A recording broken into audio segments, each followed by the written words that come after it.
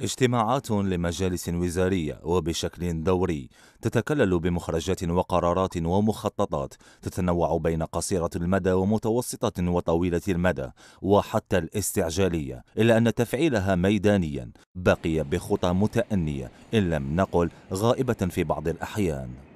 يعني تقييم هناك نجاح نسبي لأنه النجاح سيكون نسبي أكيد.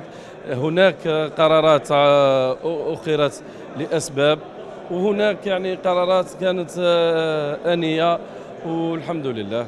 المجالس التنفيذية في أي مستوى تقول لك آه، القانون موجود. بصح إذا ما كاش مرسوم تنفيذي ليس للصلاحيات أن ينفذ. أنت إداري وليس أمامك قانون. وتسمع بأنه صدر في مجلس الوزراء توصية أو قرار. تنتظر المرسوم التنفيذي وإلا حينما تطبق سوف تخطئ وحينما تخطئ سوف تدفع ثمن. وضع لجنة لمراقبة مدى تنفيذ قرارات مجالس الوزراء خطة من شأنها متابعة وتقييم مدى تماشي استراتيجية الحكومة وتجسيد الأجندة المسطرة بين النظر والتطبيق.